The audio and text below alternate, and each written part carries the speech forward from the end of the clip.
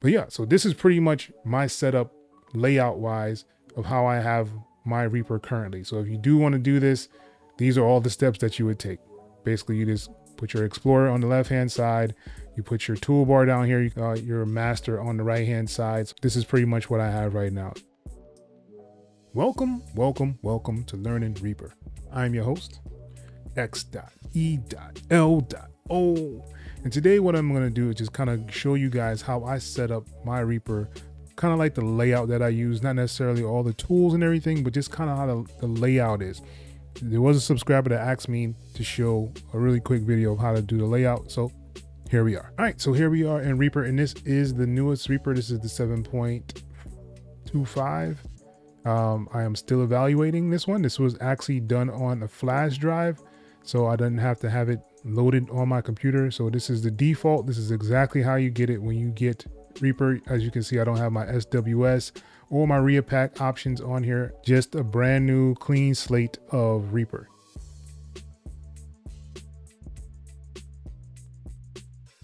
Right. So most of the time you'll have your transport right here in this middle part. Uh, you can get it right click on it and you can go and you can hide it or you can move it to a different place, right? So I usually like mine's above the ruler.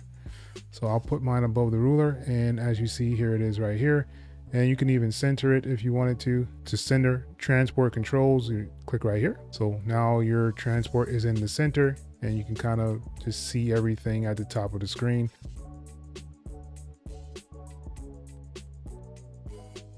I just want to add one track This so it'll have something inside the mixer and I want to move this master, right? So what you want to do is right click on the master and you want to go up to master track. And what I want to do is show in Docker. All right, so now that you have your master down here in the Docker, you can move it around. So if I click on this, I'll be able to move it. I can move it to this left-hand side. I can move it to the right-hand side. Um, I can add it to the top if I wanted to as well, right? So um, I usually like to have mines on the right-hand side. So I'll dock it over here to the right. And now you'll see a bigger mixer over here on the right hand side. And what I want to do is pull up the whole mixing channel to kind of match that height. So now I have my master over here on the right hand side and I have my mixer down here at the bottom.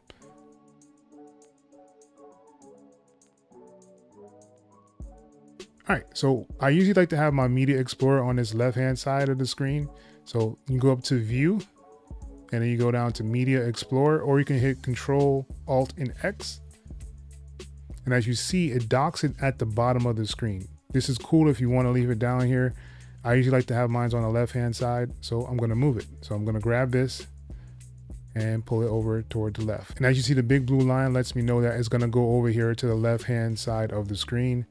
And now I have my Media Explorer on the left hand side of my screen, and I have my mixer on the right hand side. So this gives me the option to kind of set everything up the way I want to. So if I wanted to pull this up some, I can pull up this section here where the actual waveform is to make it a little bit bigger so I can actually see the waveform better. But yeah, so this is pretty much how I have my layout currently right now. This is where my transport is at the top. Uh, I have my mixer down here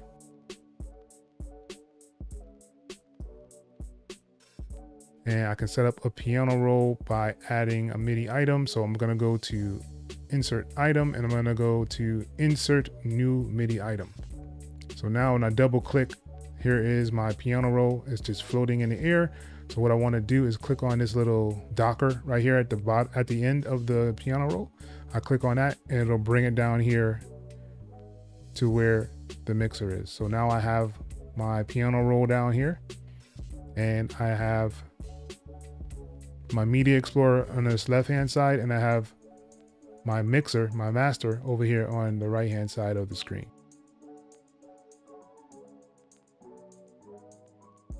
And usually I like to have toolbars, so I can right click on this toolbar up here. This is the toolbar. I can right click and I can go to open a toolbar. And you know, you have several toolbars you can use. You have up to 32 that you can use. I'm just gonna click on toolbar two. And for this toolbar, what I want to do is actually put it underneath this browser, just so I'll have something for quick access for browser stuff.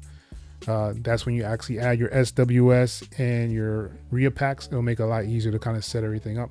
So what I want to do is dock this. So I'm gonna right click and I'm gonna go to position toolbar, right? And I'm gonna put it in the toolbar docker. So now I have this little option here to grab this toolbar and put it wherever I want to. So if I wanted to have a toolbar, let's say like right here, down here at the bottom, I can put it in this transport. But let's say I wanted it on the side here. If I hold down control, you'll see a blue line pop up here and I can actually add this toolbar right here. So if I wanted to, now I have a toolbar right here on the left hand side and I can shrink it down if I wanted to. If I had like, uh, you know, stuff in there, I can shrink it down and I have a toolbar right here on the side. And uh, Reaper makes this really easy to kind of do and kind of set up your toolbar however you want to. So let's say I wanted to put it underneath this, this uh, Media Explorer. So I can grab it and I can move it. Now, right now it's gonna be on top of it. So I'm gonna put it on the bottom. So I'm gonna hold down control and put it at the bottom. As you can see, the blue line down here means that it's gonna go to the bottom and boom. Now I have that at the bottom and I can just pull this down. And now I have a toolbar underneath my Media Explorer, right? And it works either way in here. It can work up here at the top if you wanted to add the toolbar up here. Um, Reaper Tips has a really cool video showing you a couple of ways that he's actually created new toolbars inside of his Reaper. I'll probably link that below in this video as well. But yeah, so this is pretty much my setup layout wise of how I have my Reaper currently. So if you do want to do this, these are all the steps that you would take.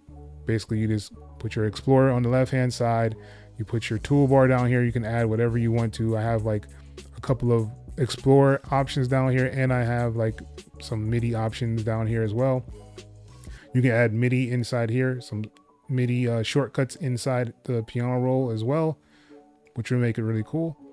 And then you have uh, your master on the right hand side. So it's kind of out of the way, but still kind of visible so you can see exactly what's going on. Right. So this is pretty much what I have right now. So if you have like any questions or concerns about this, please leave it below in the comment section. Like I said, this is going to be a quick video. Just kind of wanted to let that user know how I actually set up my Reaper. That's why I didn't have it full screen. I can show you everything that's going on, uh, make it a lot easier for you guys to set yours up if you wanted to have this same setup like I do. And then basically you just change your theme to a different theme and you can get uh, the different colors and things like that on there. But yeah, but with that being said, that's the end of this video. Please make sure you guys are liking and subscribing to the channel. And I want to thank you for watching Learning Reaper. Till next time. Peace. Hey, you. Yes, you. YouTube wants you to watch this video next, man. Go ahead and click it. I'll wait. nah, I'm just playing. I'm not going to keep waiting here. All right. I will see you in the next video, though. Peace.